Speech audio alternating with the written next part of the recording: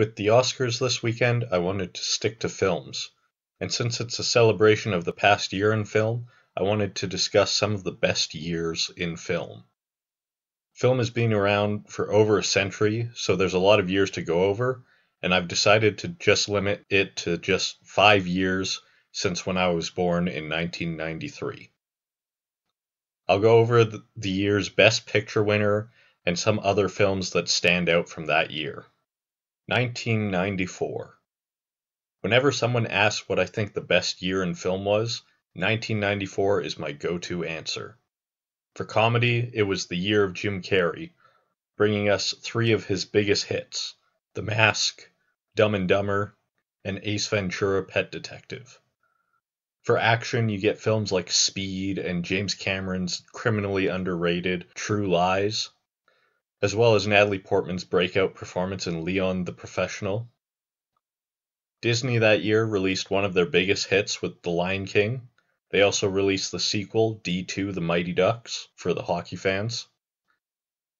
At the Oscars, we see the biggest films of the year. The Best Picture went to Forrest Gump, which is an impossible film not to like. Arguably more deserving of the award, however, were IMDb's highest rated film, the Shawshank Redemption, and my personal favorite of the year, Pulp Fiction. 1999. The 90s went out with a bang, with a year packed with colossal hits. Sci fi fans were introduced to The Matrix, they also got the return of Star Wars with The Phantom Menace, and on the weirder side, got Galaxy Quest. It was also a strong year for animated films, with films like The Iron Giant, South Park Bigger, Longer, and Uncut, Disney's Tarzan, and Pixar's sequel, Toy Story 2. There were some great comedies as well with Office Space, Austin Powers' The Spy Who Shagged Me, and the cult classic 10 Things I Hate About You. Some great directors had their breakthroughs like M. Night Shyamalan's The Sixth Sense and Spike Jonze for Being John Malkovich. Stanley Kubrick also had his final film Eyes Wide Shut. There were a couple of great tear-jerking films in The Green Mile and Girl Interrupted. At the Oscars, Sam Mendes' directorial debut, American Beauty, was winning everything. 2007. The year saw some massive blockbusters with Pirates of the Caribbean at World's End being the highest grossing film of the year. Other franchises had big releases with Harry Potter and the Order of the Phoenix and Spider-Man 3. Some other action blockbusters included Transformers and 300. Some of the big animated movies included The Simpsons movie, Shrek the Third, and Pixar's Ratatouille. It was a great year for musicals with films like Across the Universe, August Rush, Hairspray, and Sweeney Todd, the Demon Barber of Fleet Street. Comedies were also at the top of their games this year, with some of my all time favorites like Hot Fuzz, Knocked Up, Hot Rod, Rush Hour 3, Walk Hard the Dewey Cox Story, Juno, and my film of the year, Superbad. The Oscars showcase some of the best acting performances of all time, with some of the most obvious picks. Javier Bardem was fantastic in the Best Picture winning No Country for Old Men, and Daniel Day Lewis gave what I consider to be the greatest acting performance ever in There Will Be Blood. 2014. This was a huge year for big film franchises and for sci fi. Marvel had two of the best films from their universe with Captain America the Winter Soldier and Guardians of the Galaxy.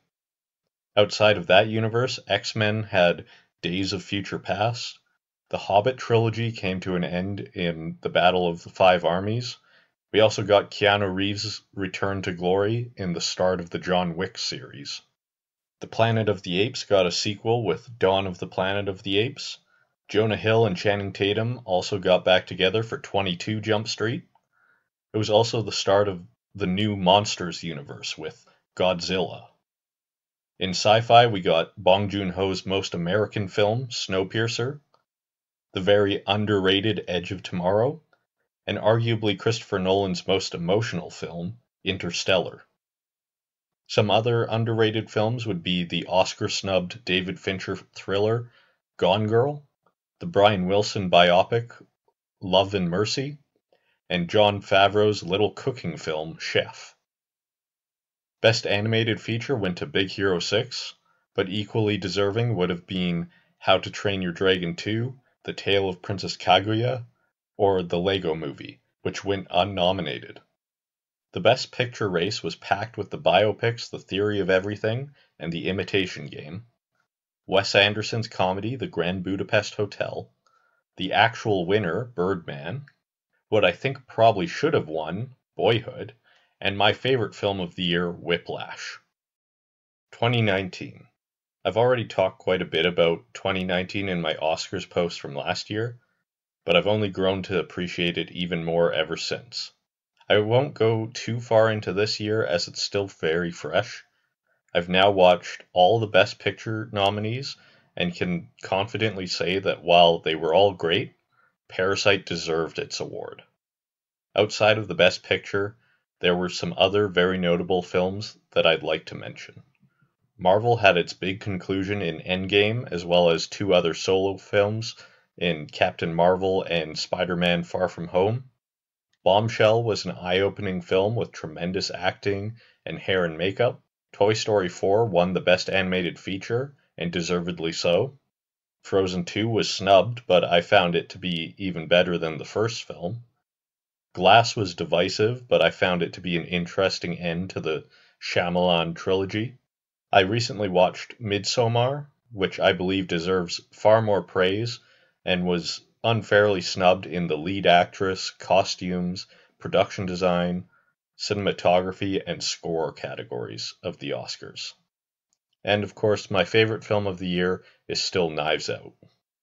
There's five of the best years in film since I was born. I could have easily expanded this to 10 years, with some other years being just as good as the five I mentioned, but maybe I'll save them for another post. I would recommend anyone to check out movies from each of these years, as there's many more that I didn't even mention. This is the end card, which means you've made it to the end of the video, so thank you for watching. If you liked the video, hit like. If you want to see more, maybe hit subscribe.